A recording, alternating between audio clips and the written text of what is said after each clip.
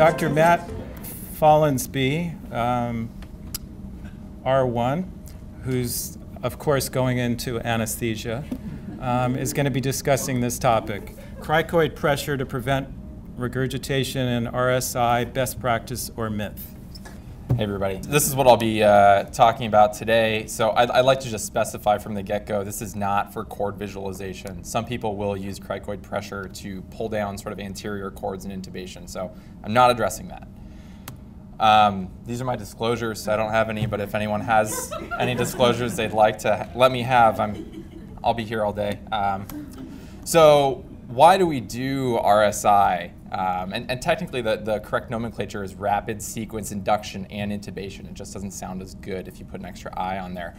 Um, so basically, you want to intubate as quickly as you can to minimize time for aspiration in patients that are high risk for aspiration. Um, and uh, you know, basically minimize the time between induction and getting the cuff up.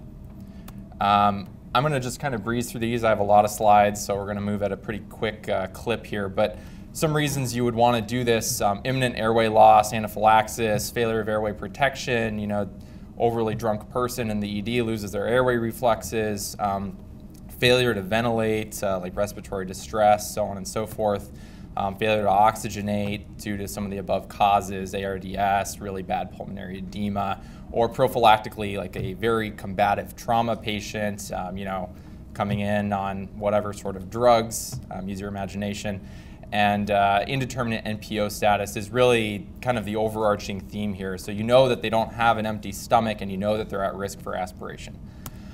So the first time RSI was formally described was back in 1970 by uh, and Safar there at UPMC uh, in, in, Pittsburgh. Um, and so there's this handy dandy 15 step guide that we're going to breeze through very quickly. Um, so get your IV access, check your equipment, put in an NG tube, and then it's controversial whether or not to remove it before you actually do the induction intubation. Clean the mouth and the pharynx, and uh, remember to get their dentures out. Denitrogenate the lungs um, for at least a couple minutes, and then they describe putting the patient in a semi-sitting position uh, with like a 30-degree trunk elevation, which we don't see that often anymore. Um, and then apply your precordial stethoscope for cardiac monitoring, which we don't do very often anymore either. Um, and then induce, and then, so basically after you've done your induction agent, they recommend thiopental, um, it's a barbiturate. They recommend having an assistant apply cricoid pressure, firm, um, and then the idea behind this is that you'll close the esophagus, then you intubate, you put the cuff up, and then you can release cricoid pressure, and even if they regurgitate at this time, they'll have a cuff protecting them from aspiration. So I imagine it looked something sort of like this, you know, wearing, uh, wearing your, your, your coat while intubating. Um, but, you know, with this slide, I really just want to kind of take some time to emphasize that this is still taught.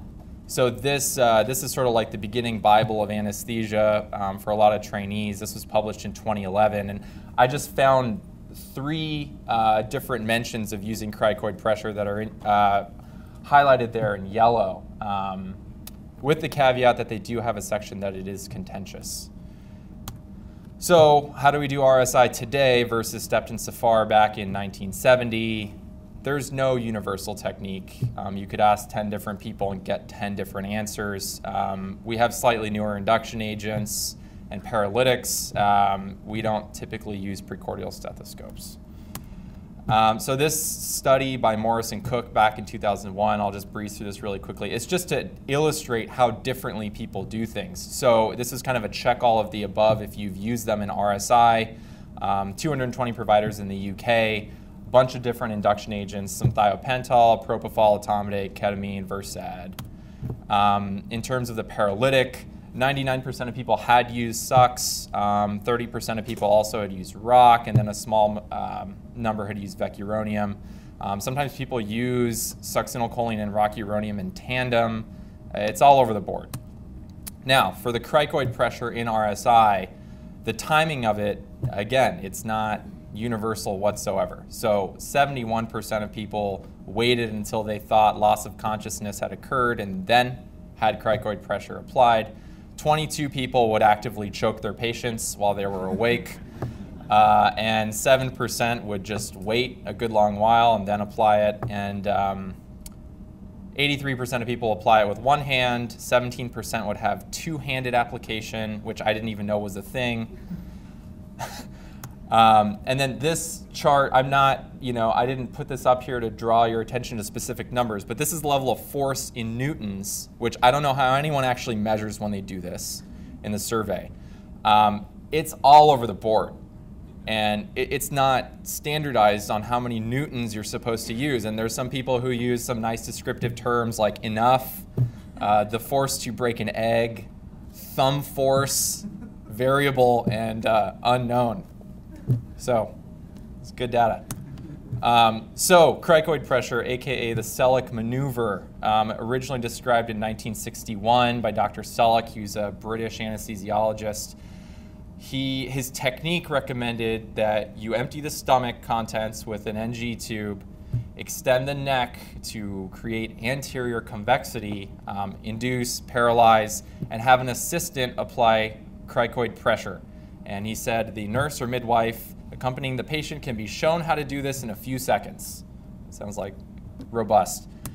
Um, and then you hold the cricoid between your thumb and the second finger and apply pressure with your index. Um, and he said, you can do this, you can choke your patient and do this while they're conscious is tolerated. Um, and when you apply the pressure, be sure to not obstruct their airway because you'll know how to do that, certainly. And uh, you can also positive pressure ventilate the lungs while this is going on um, and maintain this pressure till you intubate and get the cuff up. This uh, picture here, there's a latex tube inserted down the esophagus filled with contrast and the picture on the left is without cricoid pressure. The picture on the right is with cricoid pressure. So you see that latex tube with the contrast getting pinched down. That means it definitely works. So the data that he presented in his paper, uh, he tried this on 26 people. Only three of them aspirated, and they only aspirated after he released pressure, and therefore he concluded it must work. And that is the foundation of using this technique in rapid sequence intubation. He didn't specify how much pressure, he said firm, um, and there have been papers showing a vastly different amount of pressure 10 newtons to 44 newtons, which is one kilogram to four and a half kilos. He didn't really, you know, very succinctly specify when you should time it. He said you could do it if they tolerate it while they're awake. Uh, he didn't specify induction agents, and most importantly, there were no controls. So this is a study by Smith uh, in 2003 looking at the actual anatomy via MRI of um, the esophagus with and without cricoid pressure. So at baseline, um, in 52% of people without cricoid pressure, the esophagus is already displaced laterally. So with cricoid pressure, um, it will be displaced laterally in 90% of patients in their series typically about two thirds of the time to the left, the other third to the right. Um, the larynx could also be displaced, and they also saw evidence of airway compression, which we'll get to later.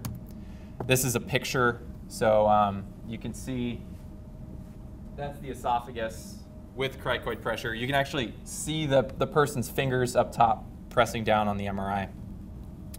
And remember, that happens about two thirds of the time in 90% of patients to the left.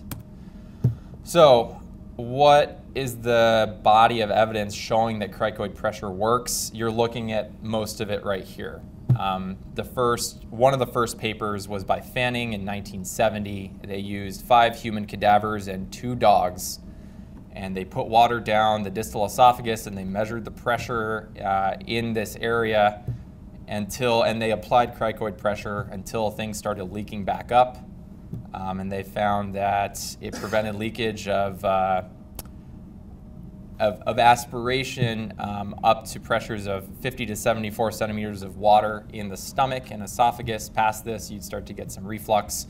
Uh, unclear how old these cadavers were, and uh, two of the subjects were dogs. There were uh, similar studies done by Salem um, and Vanner, and they were all cadaveric studies. Um, they did not quantify the uh, amount of cricoid pressure applied, except for the Vanner study in 92. Uh, another study in 83, actually this time with live patients. Um, they had 24 adults going undergoing surgery. They put an ET tube down connected to saline at various pressures that they could modulate, and uh, they would apply cricoid pressure um, and measure it uh, with a yoke. I'll show you the picture in a second. Um, so 50% of people had no reflux at 44 newtons, and 83% of patients had no reflux at 66 newtons, which is equivalent to hanging a 15 pound dumbbell on your neck. Um, other issues with the study, it's not really clear what putting an ET tube down the esophagus and the lumen that you're trying to occlude has.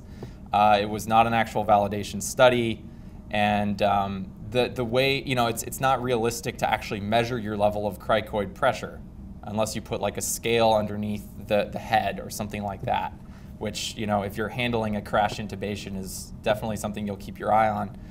Uh, this is the yoke. This is a very comfortable looking apparatus um, that they would apply pressure with.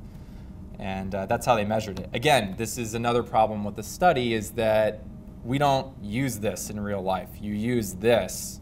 So another possible limitation. So what are some of the issues that can come up with cricoid pressure um, once you've applied it? So the study, um, Haslam et al. in 2005 wanted to measure how it affected the view when you're intubating. Um, so they put a rigid endoscope in the track of the laryngoscope and measured um, the anterior posterior distance of the cords and scaled that. Um, so basically, the different groups broke down to quarters. So there wasn't much change in a quarter of the subjects up to 60 newtons, which again is almost like a 15 pound dumbbell. Um, there was a progressive deterioration in about a quarter of the subjects in terms of laryngeal view. There was initial improvement um, at low forces, which are questionably useful um, for occluding the esophagus, and then a progressive decline in the view in about a quarter of the patients and then a quarter of the patients actually improved the view at higher forces above 30 newtons. A few more studies. Um, Levitan, 2006, uh, they did 106 cadavers. Again, they're cadavers. You have to take that data with a grain of salt, but um, cricoid pressure worsened the view in about 30% of their subjects. And Noguchi in 2003, this time with live patients, um, they used the Cook laryngeal grades and um, noticed that cricoid pressure caused no change in the view in about 43% of patients, worsened it by one grade in 28% of patients, and caused a two grade worsening in about a quarter of patients. So over half the patients uh, worsened their view, and 5% of patients had actually improved the view. So other issues, um, you can actually compress the airway, uh, and you may have to, if you know, if you fail the intubation, you have to bag mask them. If you compress the airway, this can cause problems some data for this. Um, this study by Hartsilver in 2000 uh, had 35% complete obstruction, which they defined as a expiratory tidal volume under 200 mils at 44 newtons, so about a third of people. Um, a few other studies about airway compression, um, increased of the uh, peak inspiratory pressure um, by four centimeters of water with cricoid pressure in this Hocking study, so on and so forth. There are a number of other studies showing this. Another thing is lower esophageal sphincter tone. So if you press down really hard, this study in 1997 on eight patients, they actually took direct manometric measurements of the lower esophageal sphincter in the stomach, and they found that uh, at 20 newtons, the uh, cricoid pressure took the lower esophageal sphincter tone from 24 millimeters of mercury down to 15. If you increase that to 40 newtons, it goes down to 12. It's not entirely clear if that actually has significance, but it's data. Um, and if you release cricoid pressure, it brought it back to baseline. Um, gastric pressure remained the same. So other risks, there have been some uh, case reports showing esophageal rupture and um, case report and a cadaver study with 30% rupture rate. So the big question is where does this leave us? Um, you know, cricoid pressure has been handed down as sort of like a standard of practice in rapid sequence uh, induction intubation, but it seems like few people have taken the time to actually scrutinize where it came from, and we've been through pretty much all of the data that it came from. I would make the argument it's not very wholesome data. Um, we don't know when you should apply the force, how much force you should apply, um, and even if we did, doing it in these sort of crash intubations wouldn't be extremely practical.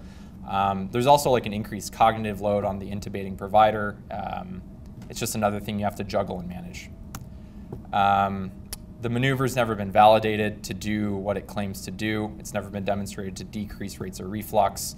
Um, it can potentially worsen the laryngeal view when you're intubating, and um, releasing cricoid pressure to get a better view could potentially predispose them to regurgitation.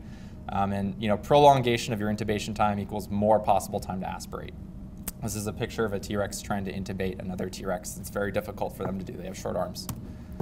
Um, and then just a couple more things. If, if you apply your cricoid pressure too early, you're basically choking your patient. And when you choke people, they can regurgitate. Um, and then you can also occlude the airway um, if you have to resort to bag masking or placing an LMA as a bailout technique. So where does this leave us? Um, it's not a practice based in evidence. It has its own risks, and it's been standard of practice in RSI teaching. So I'll leave you to your own conclusions. These are my references.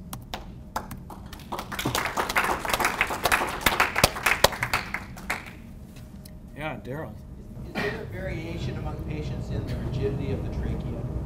I'm not sure. It has been, I mean, there have been a few case reports of actually fracturing the cartilage. Um, so maybe. Here's the statement. Cricoid pressure should be used to prevent regurgitation, aspiration, and rapid sequence intubation. So you can see there's not a lot of evidence uh, to support it. There's not a lot to refute it, although there seems like there's a fair amount of evidence that it could make intubation more difficult, um, which may actually increase the risk. Um, certainly the risk of hypoxia and other problems. So I don't know, what do you guys think? How many think that uh, this is true? How many think it's plausible? How many think this is busted? Oh, all right. Okay. Uh, before we go on, this is uh, just remind you the definition of dogma, and this is really dogma. This been we've been doing this for since 1961. Um, with you know, point of view or tenet put forth is authoritative without adequate grounds, and it's still in all the textbooks. So. I guess uh, everybody's looking forward to this.